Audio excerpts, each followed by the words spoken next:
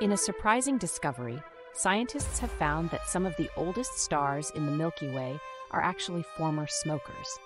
These stars, known as carbon enhanced metal poor stars, have a unique chemical composition that suggests they were formed from material enriched by previous generations of stars.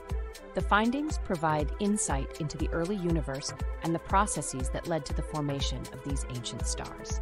This discovery challenges previous assumptions about the origins of these stars and opens up new avenues for research in astrophysics. Scientists hope that further study of these old smoker stars will shed light on the evolution of galaxies and the universe as a whole.